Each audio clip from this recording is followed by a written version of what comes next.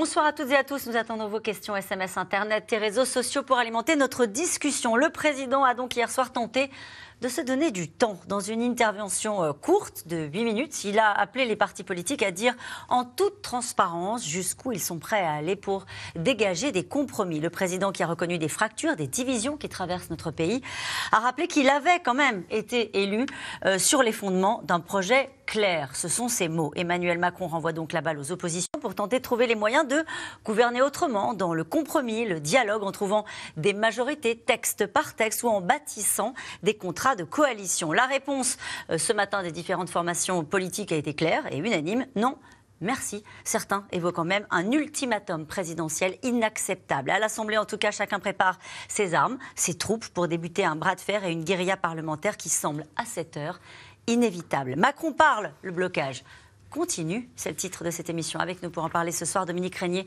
Euh, vous êtes directeur général de la Fondapol, la Fondation pour l'innovation politique. Nathalie Saint-Cric, euh, vous êtes éditorialiste politique à France Télévisions. Aurélie Herbemont, vous êtes euh, journaliste politique à RTL. On vous retrouve tous les matins pour votre chronique politique. Enfin, Mathilde Siro, vous êtes journaliste politique au point, chargée notamment de suivre l'exécutif. Je rappelle votre article du jour, La pirouette de Macron pour gagner du temps. Bonsoir à tous les quatre. Merci de participer à ce C'est dans l'air en direct. Euh, est-ce qu'Emmanuel Macron, euh, Dominique Régnier, a eu raison de renvoyer les oppositions en, disant en gros, bah, c'est à vous de réfléchir, moi je suis presque au-dessus de la mêlée, je vais aller faire ma séquence internationale, c'est pas débrouillez-vous, mais trouvez les solutions et faites-moi des propositions. Est-ce qu'il est dans son rôle? Alors, il faut, faut, rappeler que c'est une situation, d'une part, sans précédent, d'autre part, qui n'est pas du tout prévue par ces institutions-là. Donc euh, nous avons un système euh, qui peut fonctionner parfaitement dès lors qu'il y a une majorité, même, même en cas de cohabitation, on l'a vu, hein, la majorité travaille. Il peut y avoir des tensions entre le président et le gouvernement, mais ça, avance. Là, c'est une situation vraiment inédite euh, où il faut inventer quelque chose. Le président devait parler, parce qu'on n'aurait pas compris qu'il reste silencieux, mais son propos a quand même été, je dirais, en tension, puisque d'un côté, euh, il rappelait sa, propre réélection et le programme sur lequel il avait été réélu, en indiquant qu'il fallait appliquer ce programme. Or, c'est précisément par le choix fait aux élections législatives que l'application de ce programme, euh, de façon, je dirais, pleine et entière, devient impossible. Et donc, il faut euh, qu'il trouve maintenant des, partenaires au sein de l'Assemblée pour, sinon appliquer son programme, en tout cas des parties de son programme, et puis trouver, des, accords pour faire quelques réformes. Euh, ce qui m'a paru, moi, un peu, un peu contradictoire, c'est cela, c'est-à-dire que au fond, il est quand même, euh, c'est difficile, mais il est quand même assez largement responsable de la situation. On sort d'une élection présidentielle, nous aurions dû débattre de tout, nous mettre d'accord sur euh, quelque chose, et puis à la fin, on passe au cycle de gouvernement, on travaille, et, on l'a bien vu, après la présidentielle, on se trouve plus divisé que jamais dans un pays qui ne sait pas fonctionner avec ces, institutions que nous avons de cette manière-là. D'ailleurs, le président a fait référence, ça m'a beaucoup étonné, à l'Allemagne et à l'Italie en disant il y a d'autres pays où on mm. gouverne, mais ce n'est pas les pays comme nous, ils ont un système parlementaire. Donc euh, voilà, euh, il ne peut pas ne, pas ne pas jouer un rôle important, il ne peut pas non plus oublier qu'il est le chef de l'État élu par tous les Français et que par conséquent, on attend de lui des solutions. Est-ce qu'il a suffisamment pris acte, toujours avec vous, Dominique Régnier, euh, du vote de ces législatives? Il dit, j'entends les fractures françaises qui traversent notre pays. Est-ce qu'il a suffisamment pris acte de ce qui s'est passé dans les urnes? Il parle de l'abstention aussi. Il parle de l'abstention, en effet. Euh, moi, je trouve qu'il n'a pas suffisamment euh, insisté sur euh, le côté sanction des législatives. J'appelle ça, moi, une sanction sans destitution. Les Français l'ont réélu parce qu'ils ne voulaient pas l'aventure. Ils, lui ont fait confiance pour éviter le pire à leurs yeux. Euh, et puis, euh, ne pouvant pas lui dire quand même qu'ils étaient mécontents par certains aspects, ils l'ont dit aux législatives. Et il fait d'ailleurs cette, euh, cette, phrase qui me paraît, moi, à la fin de son, son propos d'hier, extrêmement complexe, au fond, même s'il est très clair dans son énoncé. Vous avez, en avril et en juin, fait deux choix clairs, et j'en prends acte, mais ils sont contraires, ces choix. ma responsabilité, c'est de les faire vivre. Mais le premier choix est contredit par le second. Et c'est très difficile de faire vivre ces, deux choix. Et c'est intéressant de s'arrêter sur les contradictions qu'il y a eu dans cette, dans cette intervention. Vous le disiez euh, rapidement au début de votre intervention à vous. Il dit J'ai été élu sur un projet clair. Il commence comme ça. Hein. Le 24 avril, vous m'avez renouvelé votre confiance. Fermez le banc. Et un tout petit peu plus loin dans son intervention, il dit J'entends et je suis décidé à prendre en charge la volonté de changement que le pays a clairement exprimée. Je pense qu'il peut difficilement faire autrement. Un, parce que euh, les autres présidents ont fait ça aussi. C'est-à-dire, un, minimiser j'ai réécouté hier euh, l'intervention de François Mitterrand en 88, hum. tout de suite après l'élection. Il dit bon, c'est pas un drame. Voilà, il laisse entendre que ça va être plus compliqué, mais il dit bon, et lui aussi cite les autres démocraties. Alors vous me direz simplement qu'à l'époque de François Mitterrand, on a des partis de gouvernement avec lesquels il peut travailler. On n'a pas un RN, une, une France insoumise, donc c'est probablement, probablement plus facile. Donc il est obligé de dédramatiser. Autrement, s'il mhm. commence à dire c'est l'enfer, c'est la paralysie, il joue le jeu des autres. Donc il fait un petit signe en, direction de, des oppositions.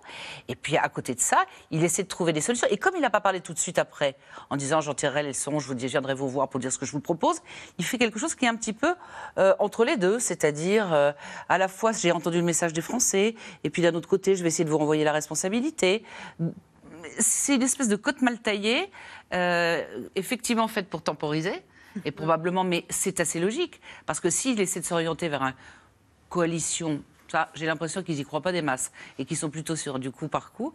Euh, il faut du temps, c'est-à-dire, euh, je ne vais pas vous sortir l'Allemagne parce que ça n'a pas de rapport, mais ça a pris trois mois.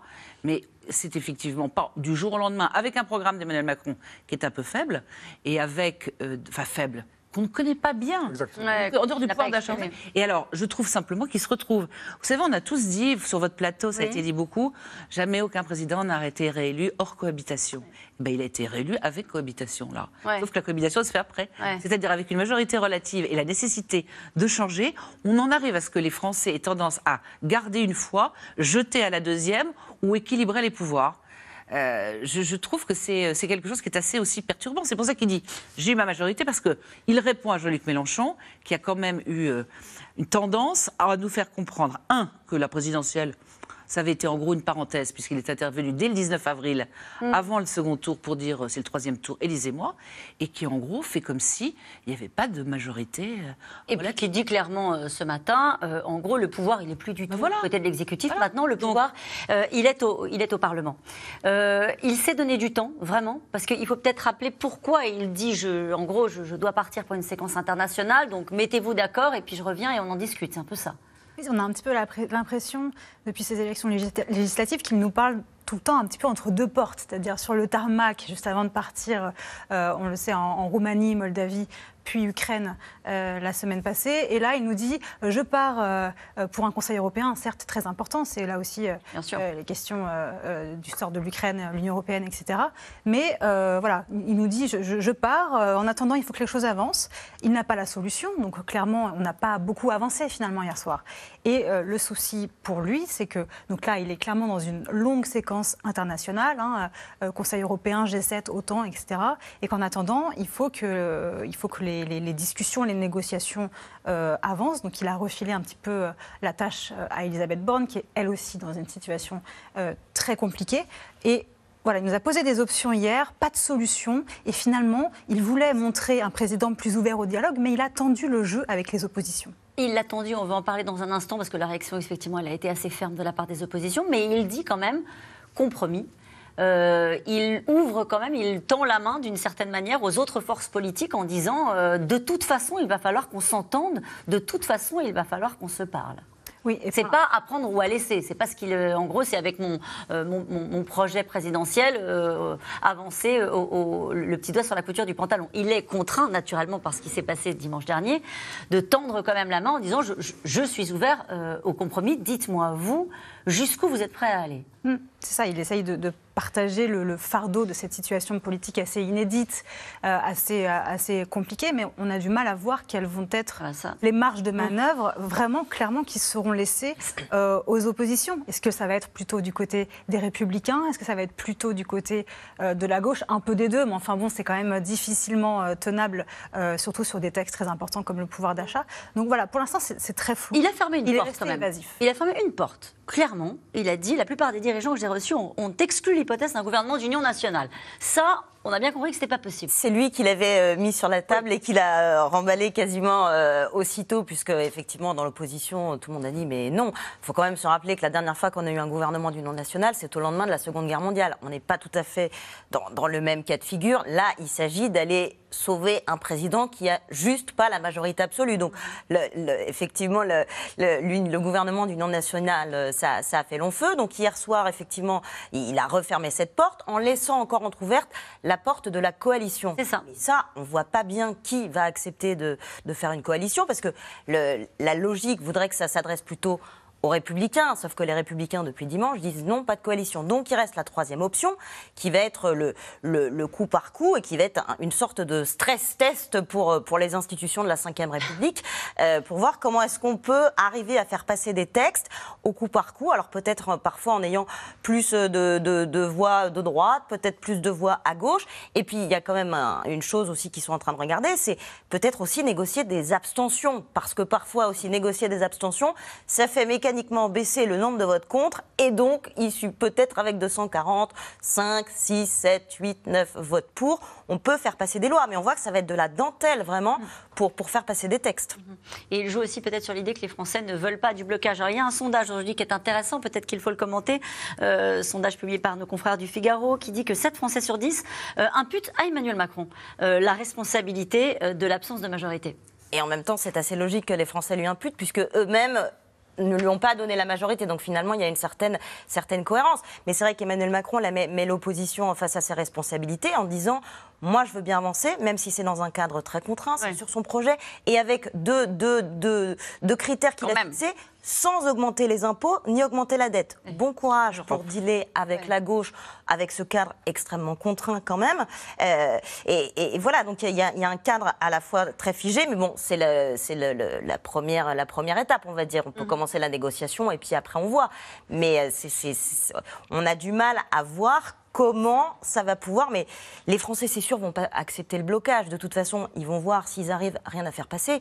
Ce qui se profile, c'est que dans quelques mois, si tout est bloqué, que rien ne passe, que le pays est bloqué, Emmanuel Macron aura beau jeu de dire, ben voyez, moi j'ai tendu la main, j'ai dit je veux bien faire des compromis, l'opposition ne veut pas, c'est bloqué, j'appuie sur le bouton dissolution. Hum.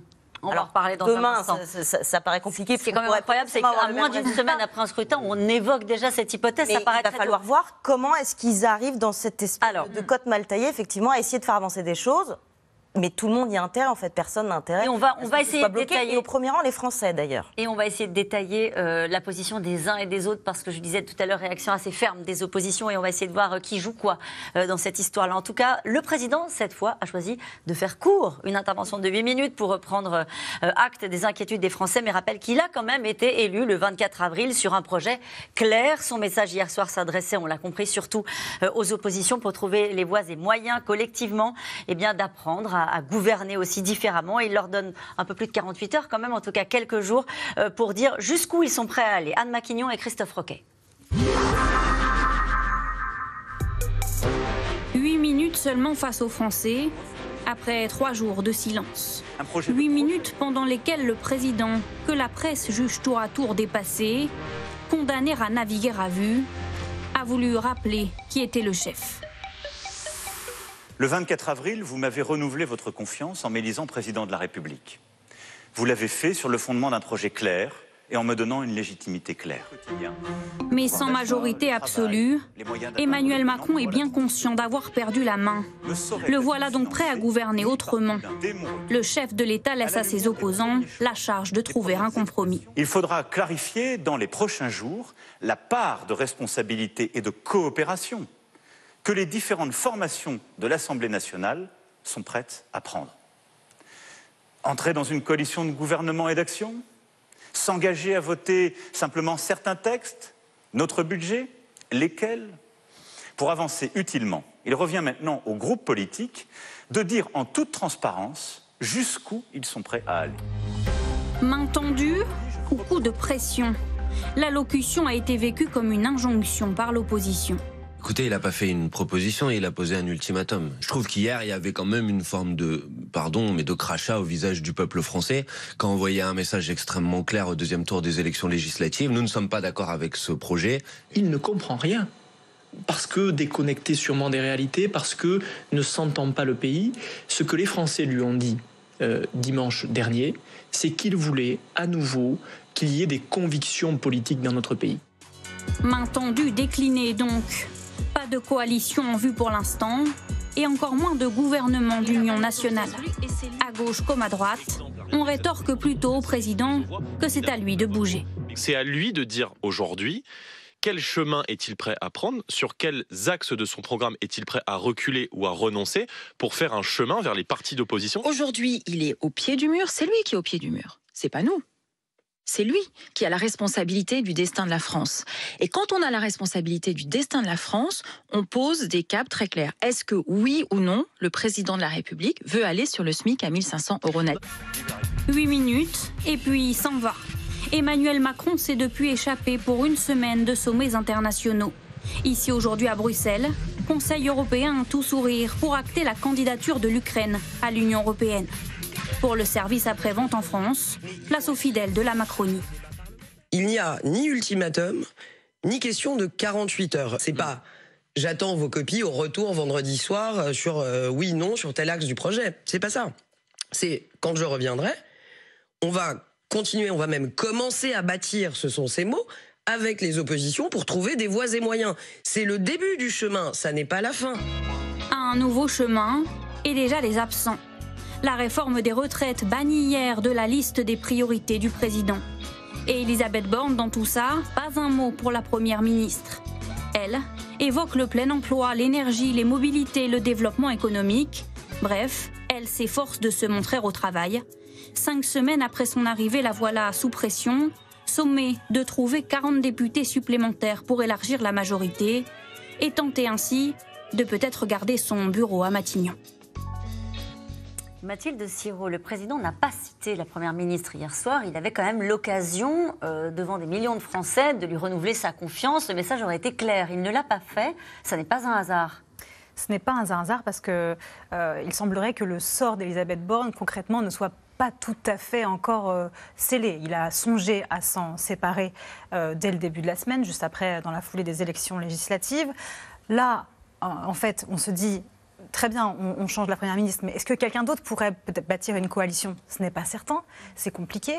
Donc pour l'instant, il la garde en attendant de voir. C'est-à-dire que là, tout est en suspens. On a une déclaration de politique générale qui est prévu a priori le 5 juillet, mais rien n'est confirmé. Ça peut bouger, ça peut intervenir sans vote de confiance, on ne sait pas.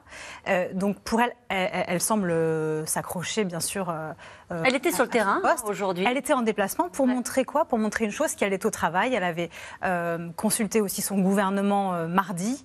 Elle, prendra la parole ces prochains jours. Elle, elle, montre qu'elle est à la tâche, qu'il y a des sujets sur lesquels elle souhaite avancer. Le, mm. la question du Covid, la question de, l'énergie. Il y a un texte aussi pouvoir d'achat qui doit être présenté en Conseil des ministres. Elle se bat pour rester. Elle se bat clairement pour rester. Elle veut montrer qu'elle est légitime, qu'elle a déjà, d'ailleurs ses proches le, font dire, qu'elle a déjà par le passé montré des capacités de négociatrice puisqu'elle a eu à porter des lois euh, compliquées. Mais enfin, le contexte politique était un tout petit peu différent euh, à ce moment-là du, quinquennat précédent. Nathalie Saint-Cric, elle est aujourd'hui un maillon faible ou pas euh, Elisabeth Borne, on précise qu'elle va voir, hein, qu'elle aura son moment politique la semaine prochaine puisqu'elle va rencontrer les responsables des groupes. Avec, tout le danger que constitue le moment politique. maillon faible au sens où je ne vais pas répéter François Bayrou, qui, à mon avis, n'a pas trouvé le meilleur moment pour dire qu'on avait ras-le-bol des technos et qu'il fallait mieux des politiques.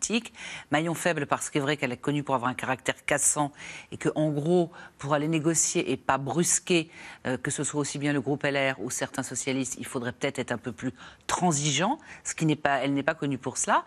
Mais d'un autre côté, c'est une femme alors ça c'est impensif, mais c'est la première femme depuis 30 ans, donc c'est quand même difficile. Même si on a une femme au perchoir, à savoir il y a une preuve privée qui pourrait faire quand même une symbolique. Et puis on peut la sanctionner pour ce qu'elle n'a pas fait. Et quelque chose d'assez paradoxal. On peut être puni quand on a fait quelque chose de mal, mais être là simplement parce qu'on était au mauvais endroit au mauvais moment, c'est quand même un petit peu compliqué. Et dernier élément, il faut trouver mieux. Il faut trouver mieux.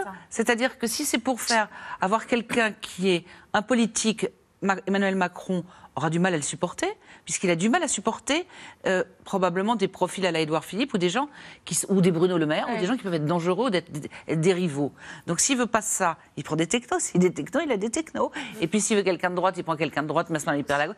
Voilà, l'équation, elle est donc maillon faible, maillon fort. Mais il est vrai que le discours de politique générale, si c'est un cauchemar absolu, c'est-à-dire qu'un on- elle ne sait pas exactement où elle va. Je ne parle pas du pouvoir d'achat, parce que ça, c'est plutôt facile. Ça va être difficile pour les oppositions de dire on ne veut pas de ça, c'est pas assez. Je parle sur d'autres choses, sur la- les retraites, par exemple. On n'en a pas parlé hier soir. Et si elle se fait, euh, comment dire, chahuter de façon détestable à l'Assemblée, on peut espérer que les gens se tiendront correctement.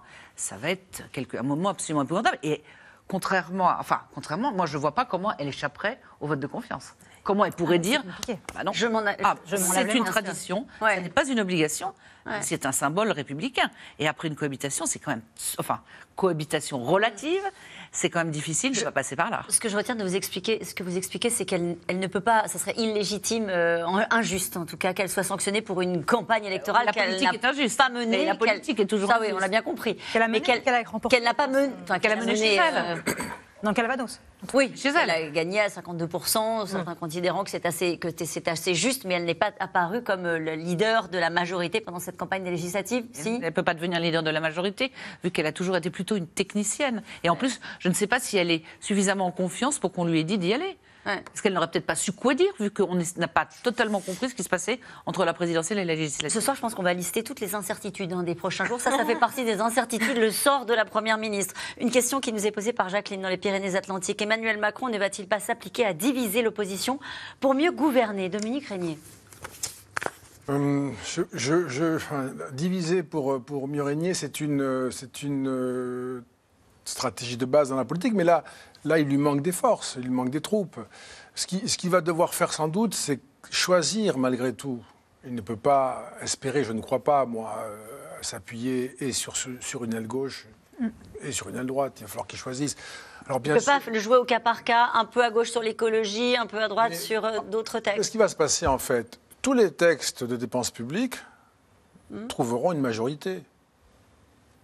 Mais quand il va falloir euh, couper dans la dépense publique parce qu'on a des contraintes fortes qui pèsent sur nous, je me demande même s'il aura un seul groupe pour le soutenir, parce qu'il faut porter après cette responsabilité, d'autant plus que vous n'êtes, pas nombreux à le faire, donc ça, y compris si vous vous abstenez, je pense, ça sera commenté.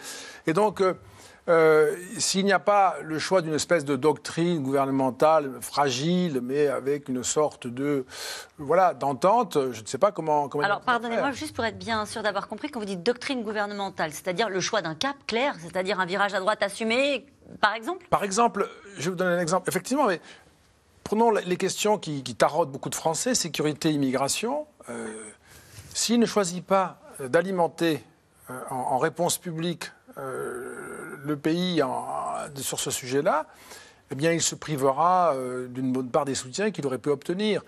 Euh, et s'il le fait, bien, c'est une forme de rupture avec une bonne partie euh, de la gauche, mais il va falloir qu'il renonce de toute façon et que la for- les forces sont plutôt sur la droite. Ce n'est pas, forcément agréable pour lui parce que c'est peut-être pas son inclination. Il faudra ajouter que c'est curieux ce serait curieux que Emmanuel Macron ne veuille pas avoir autour de lui des personnalités politiques lourdes qu'il redouterait euh, parce qu'elles pourraient lui faire de l'ombre ou le concurrencer. Il ne sera Bien plus sûr. candidat ensuite. Et Elisabeth Borne, j'ajoute un mot qui va un peu euh, contraster.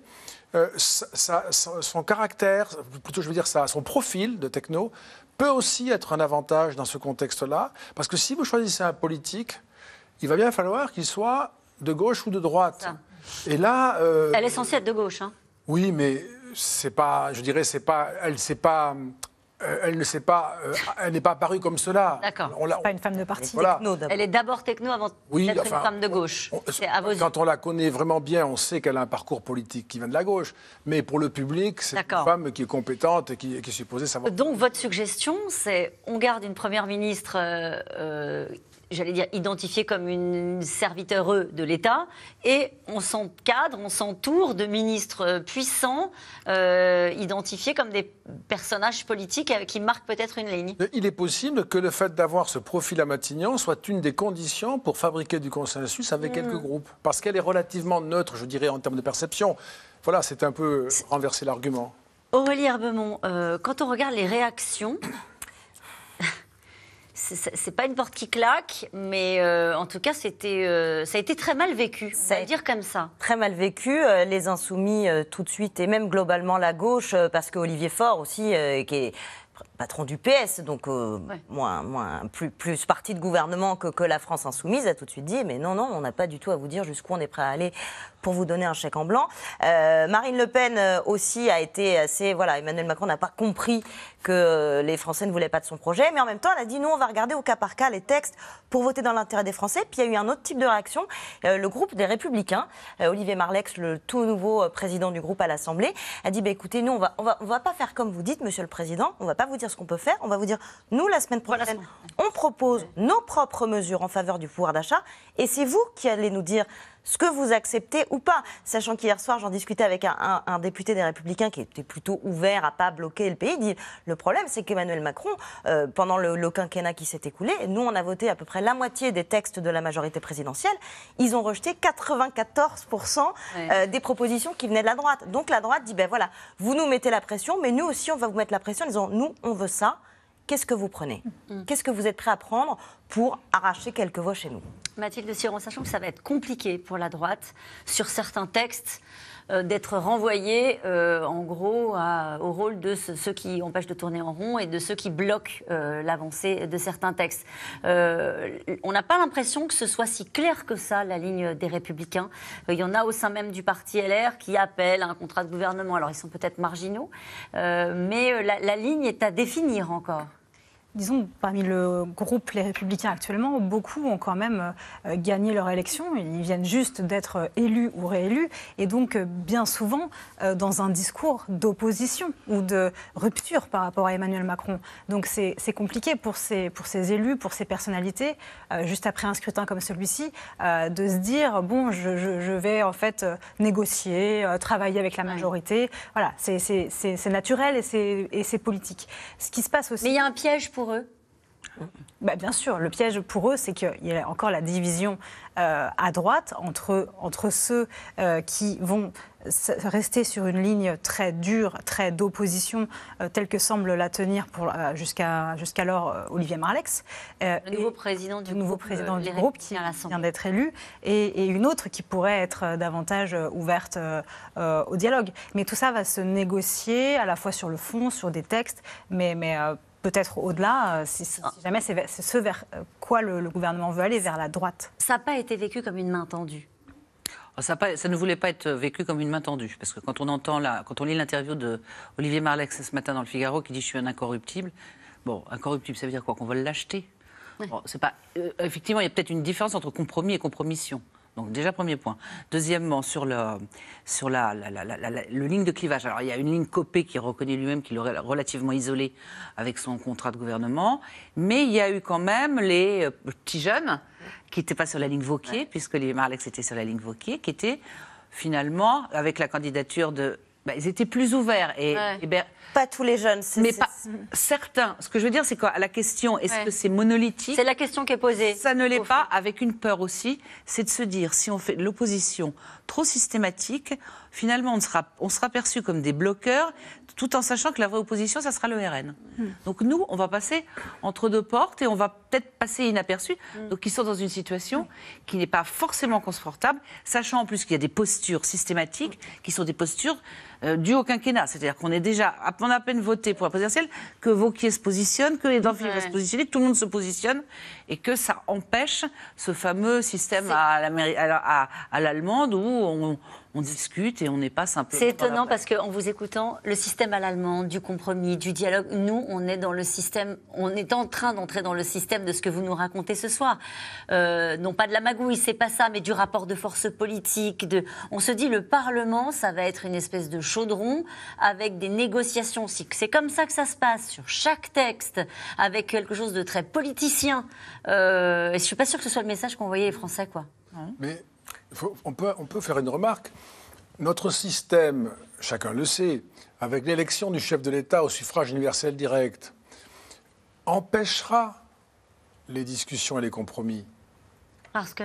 Parce que tous les parlementaires appartiennent à un parti qui pense à la prochaine présidentielle. Ouais. C'est un système, de ce point de vue-là, mortifère. Il fonctionne quand il y a une majorité, mais quand il n'y a pas, comme là, une majorité, eh bien, nous n'allons pas avoir de coopération.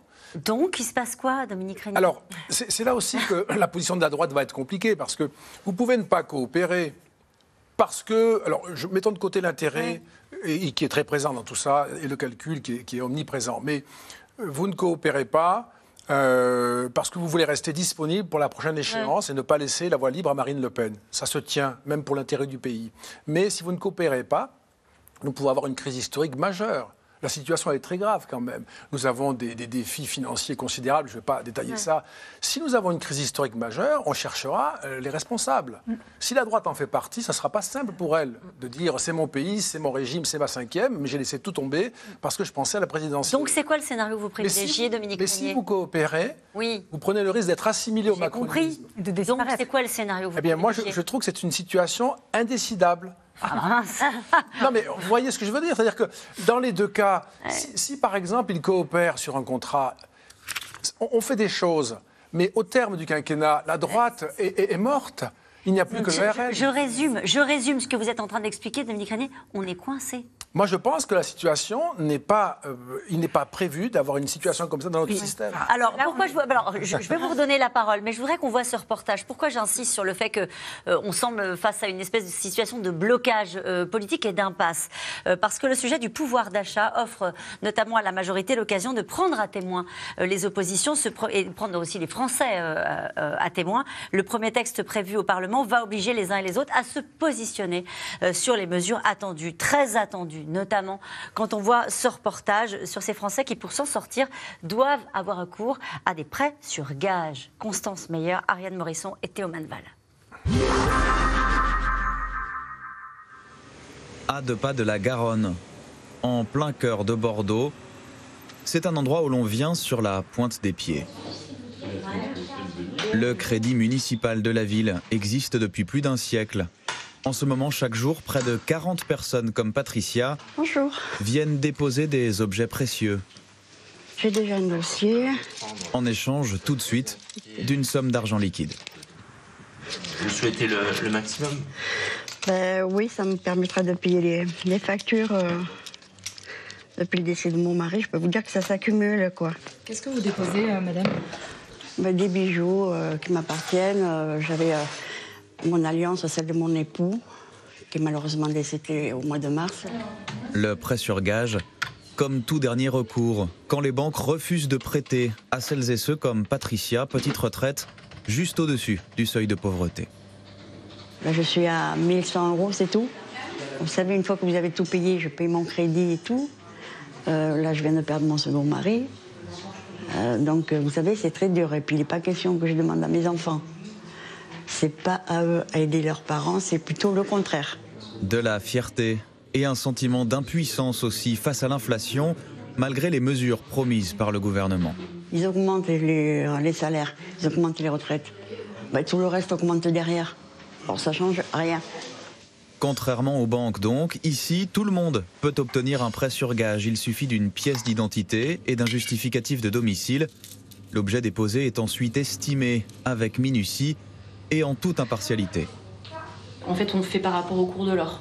Donc moi, de toute façon, je, je me base sur euh, un barème. Le 18 carats, je prête forcément euh, à 21 euros le gramme en ce moment, ou le 14 à 16 euros le gramme.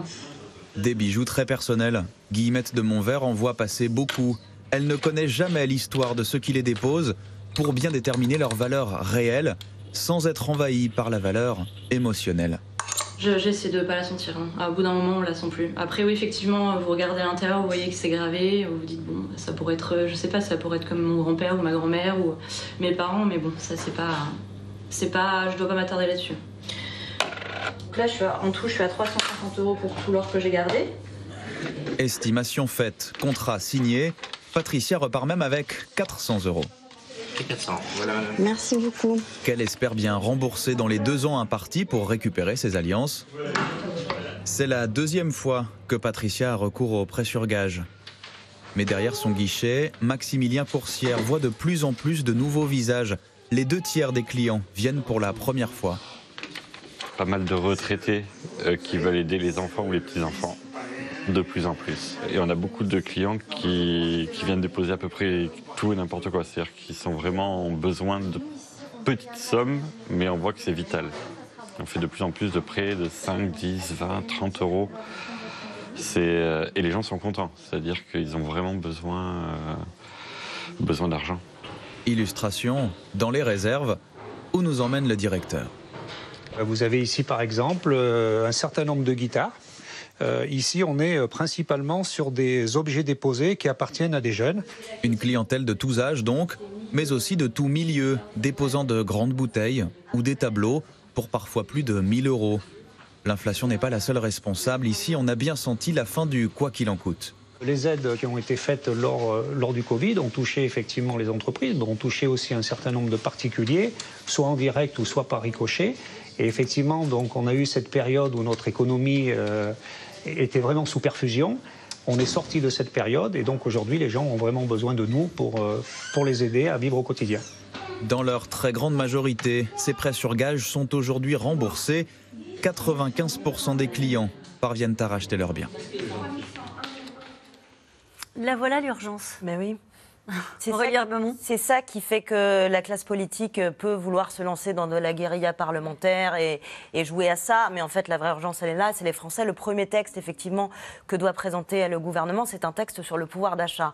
Euh, alors évidemment, la gauche voudra aller plus- beaucoup plus loin que, que, que- que ce que propose le gouvernement. Mais qui imagine la gauche à la fin ou le Rassemblement national voter contre un projet de loi qui propose euh, de dégeler l'indice, euh, le, point d'indice pour les fonctionnaires, de revaloriser les retraites en les réindexant sur l'inflation, de supprimer euh, la redevance?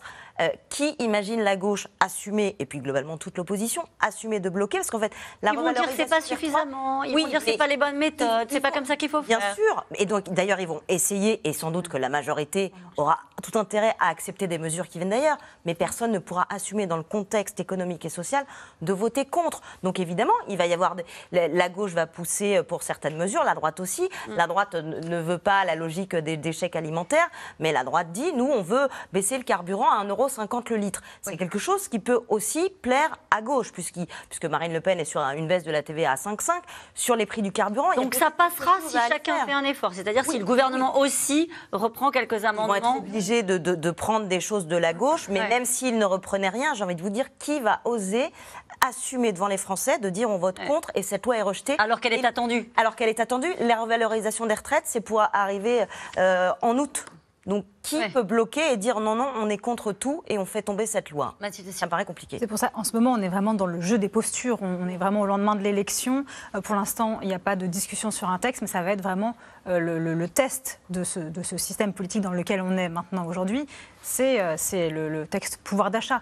On- Est-ce que ce sera celui-ci, pardonnez-moi, je vous coupe, mais est-ce que ce sera celui-ci le vrai test ou est-ce que ce sera euh, les euh, projets de budget, euh, par exemple? Est-ce que ce sera des choses qui sont à venir et qui seront naturellement plus, plus clivantes? Bah, Aurélie l'a dit, c'est un texte sur lequel ça va être très difficile de dire je vote contre. C'est un texte qui veut donner plus d'argent euh, aux Français. Donc l'expliquer ensuite, c'est quand même euh, s'exposer à, à quelques remontrances de la part de- de- des électeurs. Euh, ensuite, effectivement, il y aura les textes budgétaires qui vont être très euh, compliqués. euh, voilà, à Là, ça va être difficile de trouver du consensus. Sauf qu'on peut passer à coup de 49.3, au pire. Au pire du pire, le budget peut passer. Donc, euh, Mathilde Siro, vous vouliez terminer? Oui, non, mais c'est ça Bon, Alors Nathalie Saint-Cric. Non, je pense que c'est le plus facile. Ils vont manger leur pain blanc euh, dès Ouais. cet été. C'est-à-dire que, par évidemment, évidemment, alors évidemment, ils prendront deux, trois choses, mais personne n'aura. Et d'ailleurs, euh, les quelques déclarations de Marine Le Pen, quand on lit entre les lignes, sont des déclarations qui sont plutôt plus ouvertes et euh, que ça va être difficile de dire on veut bloquer les prix, on veut faire ci, on veut faire ça. Parce qu'autrement, ils vont se faire massacrer dans leur circonscription. Donc, le premier va être le plus simple. Euh, et tout ça parce que, et c'est la ligne qu'a choisi Emmanuel Macron, c'est la ligne de renvoyer la responsabilité. Du genre, ça sera de votre faute et ça sera enfantin sur le pouvoir d'achat. Il il y a dira, d'autres D'accord, on textes. peut pas faire plus. C'est pas terrible, mais on fait ça. Il a évoqué d'autres textes hier soir. Il a évoqué la santé, il a évoqué la question de l'environnement. L'environnement, il n'a pas évoqué les retraites. Ça, ça vous a pas échappé. Euh, mais quand il va falloir effectivement sur le budget, même si on peut passer au 49.3, quand il va falloir rentrer sur euh, des choses sur la fiscalité un peu plus précisément, on va avoir toute une gauche qui va vouloir rétablir des impôts en considérant qu'il y a des choses injustes. Là, ça va être un petit peu plus compliqué. Sur la santé, il y a effectivement un certain nombre de déblocages d'argent, puisque euh, la- l'AFI considère que le Ségur de la Santé, c'est une blague. Et puis je vous rappelle qu'il y a quand même un gros problème en ce moment, c'est qu'il n'y a plus de ministre de la Santé. Enfin, globalement, donc il va falloir aussi tout Ouais. ça que ça se règle assez rapidement, Avec une reprise une personnalité, avec une personnalité qui soit compatible avec plusieurs groupes, parce qu'entre l'épidémie, les urgences qui risquent de fermer cet été, il va falloir mettre une personne très costaude pour pouvoir discuter. C'est peut-être euh, des- justement des, des personnalités comme ça qu'il va falloir trouver et assez rapidement. On parlait d'urgence, je vais vous donner la parole dans un instant, Dominique Régnier, mais cette question de Guy, le plus inquiétant pour les Français, ce n'est pas le prix de l'essence, mais le mur de la dette avec la remontée des taux d'intérêt. Vous l'avez évoqué rapidement. Ça aussi, c'est peut-être la mauvaise surprise de la rentrée, et ça va impacter le, le- le débat politique et ce qui peut se passer à l'Assemblée. Ça, c'est catastrophique, hein, mais c'est déjà fait. C'est-à-dire que entre janvier 2021 et juin 2022, euh, les taux d'intérêt pour euh, les emprunts français sur le marché des obligations, je ne suis pas un spécialiste, mais j'ai- lu ça avec beaucoup d'intérêt, sont passés de moins 0,4% à plus de 2,4%. Donc un point, on nous dit c'est 40 milliards de plus de charges pour les Français chaque année euh, au bout d'une certaine, euh, certaine durée. Donc nous allons crouler sous une dette et les accords vont se faire évidemment sans difficulté sur, la, de la dépense. Donc cette, euh, cette loi sur le pouvoir d'achat, elle ne sera pas contestée. Il y a des petits points amusants à observer parce que si on se met d'accord par exemple pour euh, baisser le prix du litre d'essence à, à, à 1,50€, je ne sais pas ce que vont dire les écolos. Parce que c'est tout à fait contre leur politique euh, pour- qui consistant à dissuader l'usage de la voiture. Il y aura peut-être des difficultés ici ou là. Mais la vraie, euh, le, le caractère, moi je trouve, enfin, il faut quand même s'interroger sur le caractère euh, vertigineux de la situation, qui est que cette, ce système-là, qui est complètement déstructuré, déréglé, va grosso modo être particulièrement réticent à de l'économie budgétaire à un moment où les marchés financiers, nos amis européens et même ceux qui sont, ceux qui sont sensibles aux, aux- aux générations futures, eh bien, ah, mettez-vous d'accord pour faire des économies. Et je ne sais pas qui viendrait soutenir un programme d'économie. Donc ce système dans lequel nous entrons, il a une potentialité perverse inouïe. Il peut à la fois euh, défaire le système politique français, menacer même son fonctionnement démocratique et, et- et contribuer à la, Là, vous nous décrivez une crise institutionnelle. et financière, Ah oui, et donc ouais. sociale. Ouais. Donc une crise historique. Moi, je, je, je, je- je- je redoute ça. C'est-à-dire Ouais. que je, suis dans cet esprit- état d'esprit-là, et je, veux bien, que, j'espère vraiment que ça n'aura pas lieu, mais je ne vois pas bien comment on fait avec ce Ouais. Parlement qui est, qui est fait de, de personnes qui vont être tactiques, qui vont chercher à... Et les Français vont très vite ne pas aimer du tout ce parlementarisme à la française. Ça n'est pas comme le parlementarisme néerlandais ou, ou allemand. Mais en tout cas, vous n'êtes pas de ceux qui voient cette situation-là comme une opportunité de changer peut-être les méthodes. Euh, On disait Jupiter, c'est fini, etc. De changer les méthodes et de dégager du consensus euh, davantage à l'Assemblée que dans la rue. Nous pourrions, nous pourrions, Euh, euh, nous pourrions, si nous n'avions pas à élire un président au suffrage universel. Tant que nous aurons cela, je ne dis pas qu'il faut le faire, ce n'est pas le sujet de de l'émission, mais là, nous avons un obstacle majeur. Et puis un deuxième obstacle, et pardon, Allez-y. c'est quand on a des oppositions qui sont euh, systématiques, c'est-à-dire hier soir Macron parle, il termine à 20h08, à 20h08 et 30 nanosecondes, Mhm. il y a Jean-Luc Mélenchon qui commence à dire que c'est pas possible, tout le monde dit... Faut, Alors, je veux dire, le, vous le- avez le raison. manque, la, la spécificité française, c'est plus vous qui êtes politologue que moi, avec une espèce de gros bloc central et puis deux oppositions radicales, ça, ça se prête, ça prête pas tellement à des négociations. est-ce qu'on peut parler un peu du Rassemblement national? Parce que opposition systématique, dites-vous, depuis ces quelques jours, si on tend bien l'oreille, on se rend compte que euh, le Rassemblement national a un peu changé de discours depuis l'arrivée des 89 députés au Parlement, à l'Assemblée nationale, et que le président euh, n'a pas exclu de discuter, de dialoguer avec le Rassemblement personne. national. Alors il y a eu aussi deux poids, deux mesures là sur Alors, ce sujet-là. c'est-à-dire qu'il a eu une position flottante. C'est-à-dire au début, le Rassemblement national, c'était Après, ça a été les LFI qui étaient assez intéressants au moment du discours de Marseille parce qu'on avait besoin. Et puis après le discours d'Orly, ça a été les renvoyer dos à dos. Après, il y a Olivier Véran qui a dit que l'arc républicain euh, ne comprenait ni le Rassemblement national ni LFI. Après, on a cru comprendre que c'était un peu plus compliqué. Hier soir, finalement, il a cité personne. Et comme vous le disiez, on- si on décrypte bien le discours de Marine Le Pen, elle est presque la plus raisonnable depuis deux jours en disant mais vous n'imaginez quand même pas que s'il y a une mesure pour aider les Français, on va pas la voter. Donc il y a une espèce qui va un peu avec, euh, je lisais des papiers sur l'arrivée des nouveaux parlementaires RN, tellement, tellement flattés, tellement heureux de pouvoir faire ça. Je suis pas en train de, de, de- de- Non, mais d'admirer, c'est je suis en train de décrire. Qui a- et elle leur a dit, vous vous habillez bien, vous tenez bien, c'est un honneur. Et, on- et comme manifestement ils obéiront à tout ce qu'elle dit, euh, elle a laissé entendre qu'elle, en bonne tacticienne et probablement aussi parce qu'elle considère, et elle a fait campagne sur le pouvoir d'achat, qu'elle sera presque plus ouverte que les autres. Et qu'elle rentre dans la catégorie des interlocuteurs légitimes euh, aux yeux du, du chef Qui est la table suivante d'une forme de banalisation à laquelle on a assisté. Et il faut dire qu'elle a eu un comportement qui allait dans ce sens-là. Il l'a reçu au même titre que les, les autres responsables politiques. Et aujourd'hui, vous avez des ministres, euh, bien sûr, euh, ils ne le diront pas tel quel ouvertement, mais qui disent on aura besoin aussi des voix du Rassemblement national. Donc voilà, on en est là. Ils sont 89 élus. Euh, ils sont une partie entière euh, int- intégrante de l'Assemblée.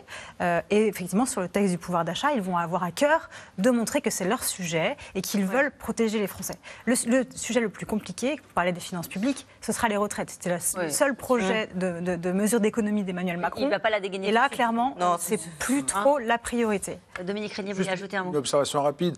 La présidentielle de 2022, elle s'est jouée sur le Front républicain et le rejet de Marine Le Pen.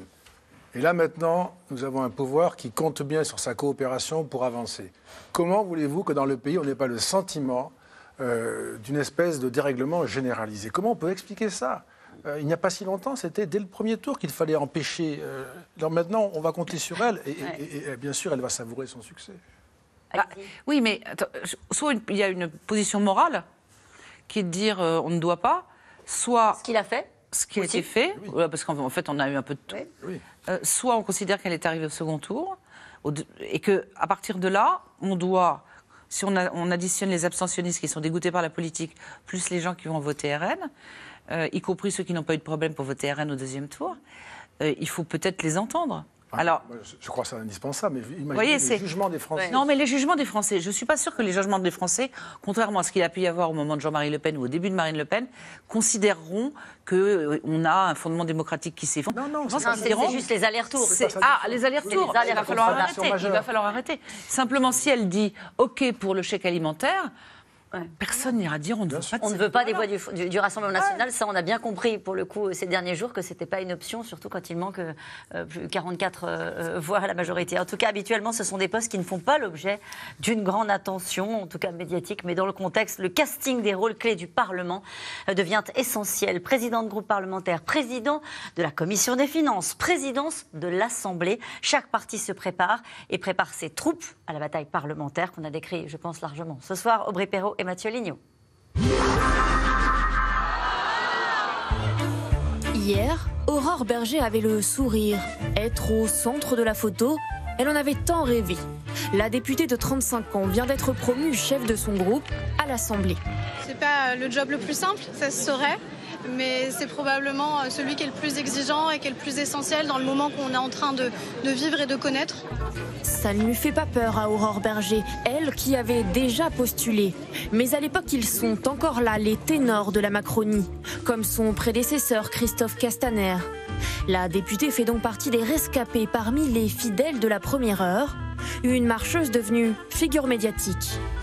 C'est une chance de pouvoir être partie prenante d'une recomposition politique qui est inédite. Je pense que les partis politiques n'ont pas encore compris ce qui était en train de se passer pour beaucoup d'entre eux. Mais voilà qu'une page se tourne. Et cette ancienne de l'UMP va devoir aller convaincre à sa droite et à sa gauche. Il faut qu'on arrive à compter jusqu'à 289. Aujourd'hui, on compte jusqu'à 245. Euh, et donc, ça veut dire que sur chaque texte, il va falloir qu'on génère du compromis. Est-ce qu'à un moment, c'est non et c'est non tout le temps? Est-ce que c'est oui? Si Euh, Est-ce que ce sont d'autres propositions Et c'est ça qu'il va falloir évaluer. Première femme à diriger le groupe majoritaire, ce serait également une première pour sa voisine, candidate à la présidence de l'Assemblée. Yael Braun-Pivet, actuelle ministre des Outre-mer, elle aussi convoitait déjà le perchoir en 2018 face à Richard Ferrand. L'ancienne présidente de la commission des lois est bien connue de ses pairs, habituée aux échanges musclés, comme ici dans une salle d'audition à l'Assemblée. Merci pour ces rappels au règlement quasi maternels euh, à notre endroit. J'adore vos réflexions fort misogynes, monsieur Preda. Lors de la commission d'enquête sur l'affaire Benalla, qui met en cause ce proche du président, Yael Braun-Pivet est accusée d'écourter les débats pour protéger l'Élysée. La République En Marche, la majorité à l'Assemblée, Yael Braun-Pivet, sa présidente, est en train d'organiser un enterrement de première classe de cette commission d'enquête en nous amusant avec euh, trois auditions supplémentaires, en expliquant que c'est bon, ce, ce sera suffisant. Je pense qu'il y a une utilisation à nouveau politique de cette affaire. Il faut laisser aujourd'hui la justice qui est saisie travailler sereinement. Ses opposants désormais, la candidate au perchoir leur tend la main. C'est ça la beauté de la démocratie. Au Parlement, lorsque l'on vote des textes, nous ne sommes pas nécessairement tenus par nos groupes. Chaque parlementaire a devant lui un bouton pour, contre, abstention. Pas si simple, répond l'opposition, notamment Olivier Marlex, élu président du groupe Les Républicains. Il annonce déjà la couleur. Je serai un président incorruptible. La période où les gens se vendaient pour négocier des postes pour eux-mêmes est révolue. Réputé pour sa connaissance des dossiers et des institutions, ce proche de Laurent Vauquier entend bien user de son pouvoir d'opposition. Si la situation nous permet aujourd'hui d'être plus utile, c'est uniquement pour euh, répondre à cette attente des Français, pas à quelque combinaison euh, que, que ce soit. Une opposition tonitruante, c'est aussi la méthode de Mathilde Panot, 33 ans, devenue lors du précédent quinquennat la plus jeune chef de groupe dans l'histoire de l'Assemblée nationale. L'héritière de Jean-Luc Mélenchon offre alors déjà quelques coups d'éclat dans l'hémicycle. Madame la présidente de la commission des lois, vous ne faites qu'un seul geste en direction du peuple. Vous le bâillonnez. Mais au-delà des coups médiatiques, l'insoumise vante la force de travail de son groupe. Nous sommes ceux qui avons le plus travaillé, fait le plus d'amendements, fait le plus de propositions de loi. Pas juste un travail d'opposant, de proposant aussi. Donc, tout le monde sait ce que nous portons. Aurore Berger, Yael Braun-Pivet, Olivier Marlex et Mathilde Panot, chacun de son côté de l'hémicycle, ils se retrouveront la semaine prochaine pour la répartition des postes clés de l'Assemblée. Parmi les autres postes clés, euh, la, commission, la présidence de la commission des finances. Oh là là. Oh là là, euh, avec certains élus euh, qui considèrent que qu'elle doit, doit, revenir au Rassemblement national. Alors, ce qui se passe jusqu'ici, c'est donc c'est forcément un groupe d'opposition. Ça ne précise pas d'ailleurs dans le règlement de l'Assemblée que c'est nécessairement du plus gros groupe de l'opposition. Euh, là, il se trouve qu'aujourd'hui, effectivement, le plus gros groupe d'opposition, c'est le Rassemblement national avec 89 élus, puisque la NUP, euh, l'Alliance de la gauche, est divisée en quatre groupes et les Insoumis ne sont que 72. Donc, techniquement, si on se fie à tout ce qui s'est passé depuis que Nicolas Sarkozy a instauré cette règle en, 2008, euh, c'est toujours le plus gros groupe d'opposition qu'il avait. Mais bon, on était sur de la droite contre de la gauche, c'était assez basique. Là, effectivement, il y a une, une bataille souterraine en se disant, euh, ben, logiquement, ça devrait être le Rassemblement national, sauf que les insoumis disent, nous sommes la NUP, nous sommes plus nombreux. Mhm. D'ailleurs, Jean-Luc Mélenchon a vainement tenté de dire, si on faisait un groupe tous ensemble pour être plus nombreux, les autres ont dit non. Euh, sachant que du côté de la NUP, alors doivent essayer de se mettre d'accord pour avoir un seul candidat, parce que Éric Coquerel, a priori, veut, veut, être candidat pour les Insoumis, mais Valérie Rabault, la socialiste, est aussi intéressée. Et ça, c'est une candidature qui pourrait plaire, y compris à des républicains. La majorité euh, verrait d'un bien meilleur œil que ce soit euh, Valérie Rabault et pourquoi, plutôt qu'un insoumis. Aurélie, Aurélie pourquoi on a entendu certains républicains dire il faut que ce soit le Rassemblement national qui hérite de la commission, présidence de la commission. Gérard Larcher, notamment, a dit ça, qu'il fallait respecter les électeurs du Front National et que c'était euh, du Rassemblement que National. Qu'est-ce qu'ils craignent de la NUP Alors peut-être qu'ils ont plus peur d'un insoumis à la, tête de la commission des finances que le Rassemblement National. C'est vrai, quand vous êtes à la, présidence de la commission des finances, vous avez des pouvoirs extrêmement larges. Euh, vous pouvez euh, filtrer les amendements gouvernementaux qui arrivent pour faire le budget. Vous pouvez aller contrôler des dossiers fiscaux. Alors le secret fiscal, quand même, est maintenu. Mm. Si jamais vous allez contrôler quelque chose et que vous le dévoilez, c'est puni par la loi, vous n'avez pas le droit. Euh, mais vous pouvez débarquer dans n'importe quelle administration et contrôler tous les documents que vous voulez. Et visiblement, même Eric Woerth, l'ex-LR, ancien président de la, Commission des finances, euh, aurait l'air de préférer que ce soit le Rassemblement national mm. plutôt que les insoumis euh, qui, qui, est la, Commission des finances. Et, côté de l'exécutif également. C'est-à-dire que globalement, ils ont effectivement une peur d'une infiltration ou des méthodes de LFI. Je ne suis pas en train de dire que c'est vrai ou c'est faux.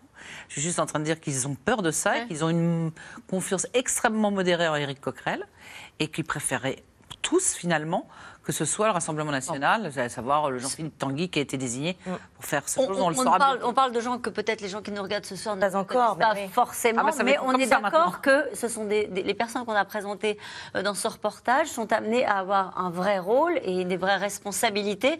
Et, et ce sont des postes, euh, Dominique Régnier, déterminants dans les, dans les semaines et les mois qui viennent. Oui, c'est le. on- n'est pas habitué à ça, euh, donc on- ça va sans doute intéresser dans un premier temps au moins, mais euh, le, le- un, enfin, un cœur de la vie politique va se passer véritablement à l'Assemblée nationale. Ceux qui y sont, les élus, vont jouer un rôle important. On va davantage les connaître. Euh, et d'ailleurs, ceux qui n'ont pas voulu y aller euh, sans doute commis une erreur très importante. C'est le cas. de- Pensez à qui? Je pense à Jean-Luc Mélenchon, qui, qui ne- n'est pas député parce qu'il n'a pas voulu se, se présenter. Et du coup, il ne sera pas de ces personnages que l'on va interroger, interviewer, voir et dont on va connaître les décisions ou les, ou les réflexions. Jean-Luc Mélenchon et Jordan Jordan, Bardella. Bardella. aussi, qui est Ah. député européen et qui ne sera pas un au théâtre, c'est un endroit où on... Et Marine Le Pen a donc été élue sans surprise présidente du groupe euh, RN à l'Assemblée. Cette question, euh, si l'on s'empoigne dans l'hémicycle, alors comment se comporteront les Français déçus dans la rue? Enfin, L'aspect, je dirais, euh, le plus redoutable, c'est la possibilité que ce Parlement, ne, parvenant pas à, produire une politique raisonnable et à peu près continue, euh, eh bien, euh, finisse par s'opposer à lui-même dans une sorte d'antipolitique où rien ne serait possible, et que cela produise en reflet, je dirais en miroir, dans, des manifestations des mouvements sociaux, non pas contre l'incurie parlementaire, mais parce qu'on ne gouvernerait pas correctement, parce que là, nous, aurions une crise parlementaire, une crise politique, une crise sociale, et que nous n'allons pas, euh, sans doute, pouvoir gérer tout cela avec les moyens que nous avons aujourd'hui. On revient maintenant euh, à vos questions. Une question de Patricia. Trois ministres à remplacer, voire quatre, un gouvernement élargi qui se fait attendre, le président absent plusieurs jours, tout va bien. Bon, sur le calendrier, ça ne peut pas durer, hein, c'est ce que vous nous disiez tout à l'heure. hein. Oui, effectivement, quatre ministres qui sont euh, démissionnaires. On imagine qu'à la suite peut-être de l'élection pour la présidence de l'Assemblée qui a lieu mardi, si jamais c'était euh, Yael Braun-Pivet qui euh, logiquement devrait être élue puisque c'est la candidate de la majorité présidentielle, comme elle est actuellement ministre des Outre-mer, elle devra quitter son poste. Et donc là s'ouvrira certainement la séquence du remaniement et on ne sait jamais combien de temps ça dure. Oui, enfin, là, il y a quand même une, des, des contraintes qui viennent d'être posées, c'est-à-dire le fait euh, d'avancer très vite sur le texte pouvoir d'achat, et puis euh, les contraintes économiques aussi qui poussent peut-être euh, la France à se mettre en ordre de bataille, non? Et la santé. Et la santé, bien sûr, il y a même certaines personnes qui considèrent que ça peut aller assez rapidement, même si c'est non significatif. Ce que je veux dire par là, c'est Mm. dire que c'est peut-être pas le gros remaniement, mais que temporairement, il faut donner l'impression qu'il y a des gens qui travaillent avec une, cette énorme inquiétude sur l'hôpital et sur euh, euh, les Outre-mer. Mm. Donc euh, il y a ça. Et puis c'est vrai que le texte, le texte pouvoir d'achat, c'est le 6 juillet Ouais. en Conseil des ministres. Alors on a déjà sauté un Conseil des ministres. Ouais. Euh, faut, faut pas traînasser trop, quoi. Emmanuel Macron veut que les oppositions se mettent d'accord sur son programme. Bizarre, non? Les oppositions trouvent ça bizarre, effectivement. Ouais. Oui, oui, oui, il y a un côté paradoxal euh, à dire euh, il faut vous mettre d'accord sur mon programme. Mais il a dit qu'il fallait faire du compromis, donc ça veut dire que lui aussi va devoir faire un pas vers, vers, vers les propositions de l'opposition. Sinon, ça- ça- c'est du donnant-donnant quand vous devez faire du compromis. Mhm. Donc il a commencé par euh, voilà, c'est mon programme qui compte, c'est la base. Après, on peut discuter. Avance. Il faut Après, il rappeler- faut discuter, sinon il n'y a pas de compromis. Il faut rappeler que son programme pour 2022 est quand même très light euh, et qui se prête assez bien, pour le coup, sans que ça ait été voulu, j'en suis sûr, à une discussion avec d'autres partenaires pour le modifier. Pourquoi Emmanuel Macron n'a-t-il pas pris, la mesure, pas pris de mesures en faveur du pouvoir d'achat avant les législatives?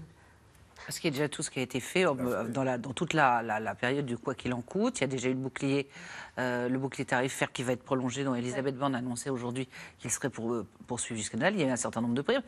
Euh, simplement, ils, ils- ont, je crois, attendu un peu de voir quel était l'effet de l'inflation, quel était l'effet de la crise ukrainienne pour voir à quel point tout augmentait et tout était problématique. Et ils ont dit on le fera. Je ne pense pas qu'ils aient trop. euh, ils ont peut-être sous-estimé. Une question d'Henri en Gironde. Notre Première ministre va faire son discours de politique générale sans se soumettre à un vote de confiance? On ne sait pas pour l'instant. Elle n'y est pas obligée formellement par la Constitution. Ce serait bizarre de ne pas le faire, sauf si elle est sûre de le perdre, ce qui est un risque. C'est pour ça que, euh, en ce moment, des, des- des- des- des ténors euh, de droite de la Macronie appellent euh, des petits camarades plutôt moins fermés que les autres à droite avec une question si jamais on Est-ce que fait tu quelque votes la chose, est-ce que tu peux au moins t'abstenir? Ah oui. Toujours dans ce, ce- cette logique de faire baisser les votes contre. euh, et parce que effectivement, si elle est sûre de perdre, si toute l'opposition se ligue pour voter contre elle, ça veut dire qu'elle est renversée directement. Donc dans ce cas-là, il pourrait éviter de, de passer par un vote de confiance. Je me tourne vers le politologue euh, Dominique Régnier.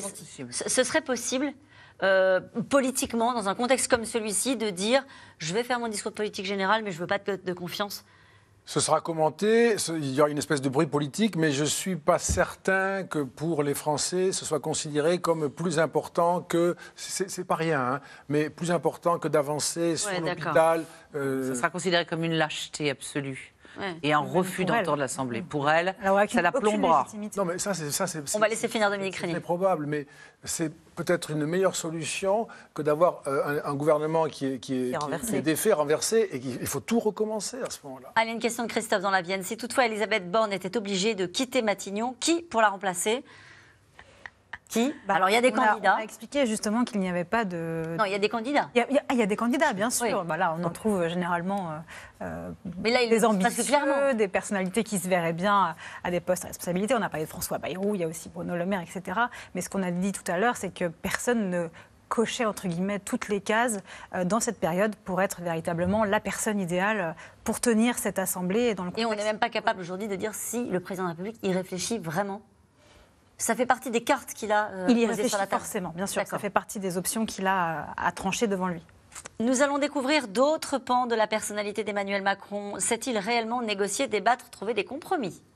Nathalie Saint-Cric. Il va bien être obligé. Oui. Ou alors, à ce moment-là, il s'en va. Enfin, je veux dire, il y a un moment donné où on apprend en avançant. Je- euh, C'était un peu facile la première fois. Enfin, les cinq ans, bien qu'il y ait eu Ouais. de grosses crises, donc pas si facile que ça. Mais effectivement, il y avait un, il y a un, un membre de l'opposition qui disait on va lui offrir un que sais-je sur le Parlement pour qu'il comprenne comment ça marche. Et il a dit C'est un peu hier vache, soir, et il a dit hier soir, c'est très intéressant peut-être d'y arrêter, euh, il nous reste quelques minutes, euh, il a dit au fond, c'est presque ce que j'ai toujours voulu, parce que moi j'ai voulu le dépassement. Mais le dépassement, mais sur le fond, philosophiquement, c'est pas idiot. C'est-à-dire de considérer qu'on prend ce qu'il y a de mieux à gauche, ce qu'il y a de mieux à droite, sauf que manifestement, euh, quand le dépassement est trop flou, euh, non pas c'est qu'il y a un loup, mais c'est parce que c'est pas assez lisible pour les Français, qu'il y a les vieux clivages qui remontent. Mathilde Sion. Autour d'Emmanuel Macron, ils sont très forts pour euh, post-rationaliser, Mm. vous savez, les situations. Ouais. Donc là, ils vont vous dire que c'est formidable ce qui s'est passé dans les urnes dimanche parce que c'est ce qu'ils avaient, c'est ce qu'ils auraient toujours voulu euh, qui arrive, c'est-à-dire pouvoir négocier, aller chercher voix par voix, euh, revenir à l'origine du macronisme, puisqu'on se souvient la loi Macron en 2015, à l'époque quand il était ministre de l'économie, eh ben, il avait fait ce travail-là euh, parce qu'il savait que c'était un texte compliqué pour sa majorité, pour la majorité. euh, Ça n'est pas l'époque que faux. socialiste. Mais la Pardon, mais je- pardon, excusez-moi Aurélie Herbemont, ça n'est pas que faux. C'est-à-dire qu'il y a quand même eu cette volonté de la part euh, d'E- d'Emmanuel Macron euh, de travailler euh, avec une partie de la droite et une partie de la gauche Effectivement, c'était sa ligne politique pour laquelle il s'est engagé pour la précédente élection présidentielle. Mais là, elle se heurte un peu au principe de réalité pour avancer euh, sur vraiment du dur, c'est-à-dire des textes euh, de loi et euh, des votes Et au puis pour Parlement. continuer à réformer et pas tomber dans l'immobilisme, ce qu'il a évoqué aussi hier soir. Pourquoi le président Macron persiste-t-il à dire que les Français ont voté pour son programme alors qu'il fallait faire barrage?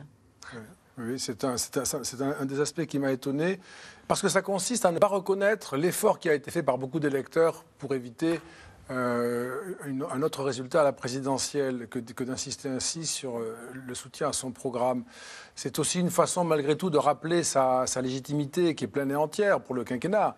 Euh, c'est une façon de dire aussi aux parlementaires ce qui est vrai, qu'il a une légitimité totale par rapport aux parlementaires. Il est dans une circonscription, lui, il a été élu par le pays tout entier. Je pense qu'il a voulu aussi faire entendre cela à ce moment-là.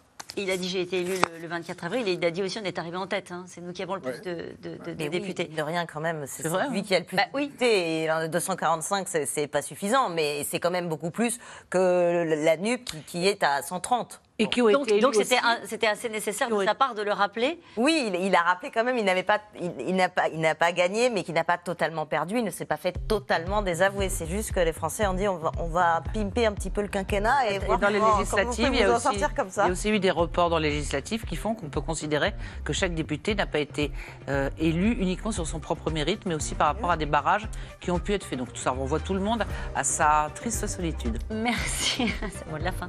Euh, merci C'est la fin de cette émission qui sera rediffusée à minuit. Ce soir, il est l'heure de retrouver Anne-Elisabeth Lemoine et toute l'équipe de C'est à vous. Bonsoir Anne-Elisabeth.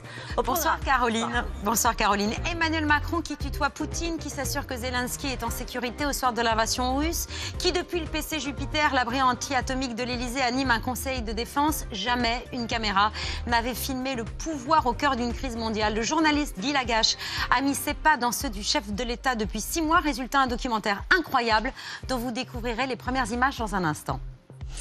Merci beaucoup Anne-Elisabeth, bonne émission. Demain, vous retrouvez Axel de Tarlet pour euh, un nouveau C'est dans l'air. Je vous rappelle que vous pouvez retrouver l'émission quand vous le souhaitez en replay et en podcast. Belle soirée.